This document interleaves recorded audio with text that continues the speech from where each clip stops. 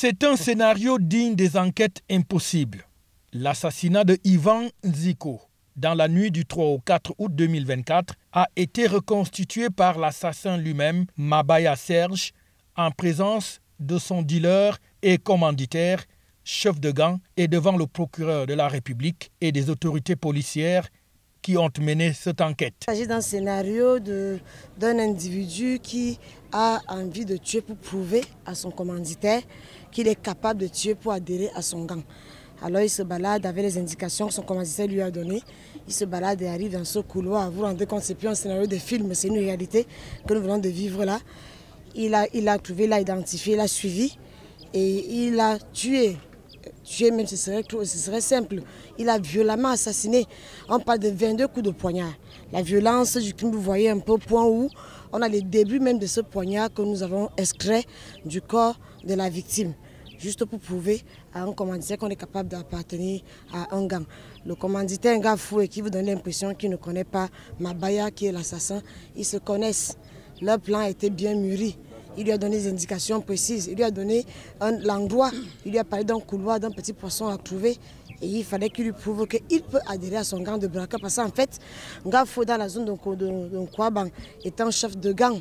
Quand nous l'avons interpellé, pour tout vous dire, la population a acclamé, était contente, disant qu'elle respire enfin. C'est un gars, il n'a pas qu'un gang de braquage, il a d'autres petits gangs. Il vous a parlé d'un gang qui agressait un vieillard. Mais un citoyen normal agresse un vieillard, il serait allé au secours de ce vieillard.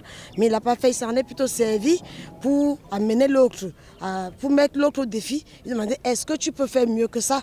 Quand il vous parle de rail, est-ce que tu es aussi fort pour faire comme les autres?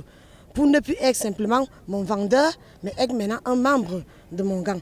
Donc, euh, vous, Mimbo ça ne pas le passé, avait vécu des crimes pareils. On ne pouvait pas laisser euh, cet acte impuni.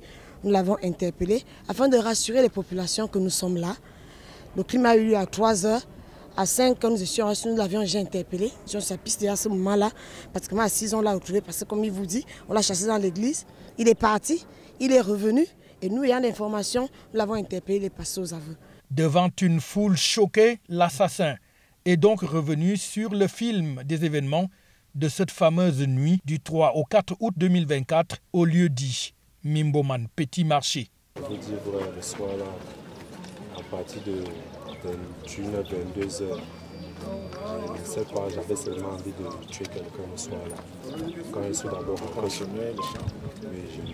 filmé le champ le soir quand je suis rentré chez moi à la maison, il y avait ma soeur. Donc je voulais d'abord failli tuer ma soeur même. Mais comme j'entre à la maison, elle, elle est sortie elle-même. C'est ça qui a fait qu'on n'est pas resté à la maison. J'ai pris le couteau, j'ai commencé à marcher. Je suis d'abord parti le dixième. J'étais dans un snap.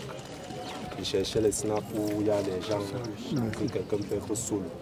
Dès qu'il va me ruiner, je vais le suivre derrière. Donc je, voulais seulement, j'ai vu au snap du dixième arrêt là qu'il n'y avait pas assez de gens. J'ai refait marche arrière vers Carrefour. Après j'ai recommencé à descendre vers ici vers le château de Je me suis encore arrêté dans un snap là-bas. J'ai encore essayé de voir si quelqu'un peut être sous qui va sortir. Je vais seulement le suivre, je vais commencer à le tuer. Ensuite, j'ai vu qu'il n'y avait pas les gens qui sortaient, il y avait les gens qui étaient en groupe.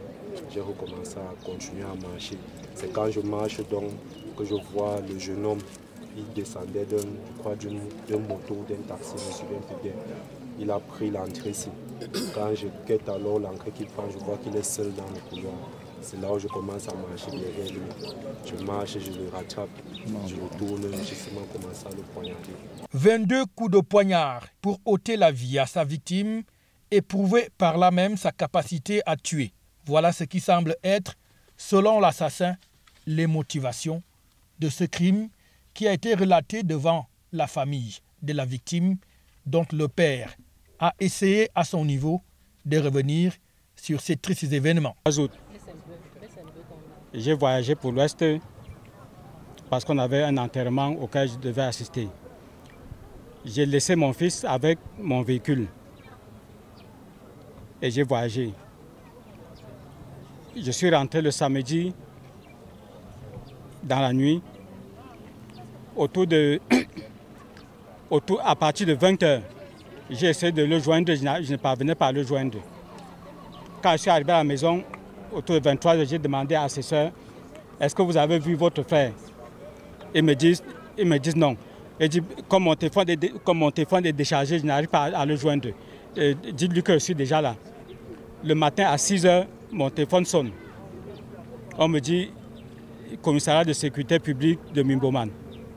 Nous avons, nous avons ici euh, les, pièces de votre véhicule et les pièces d'un certain Zico Simo Ivan Arthur, qui serait votre fils. Je leur, demande, mais ces pièces font quoi chez vous? Il dit, c'est une histoire longue, viens, viens, viens, viens, sur place. Je me déplace donc, je vais au commissariat de Mimboman. On me dit, on a trouvé ces pièces. Il y a des individus qui sont allés troubler dans une église. Ils ont oublié ces pièces là-bas, on les a récupérées.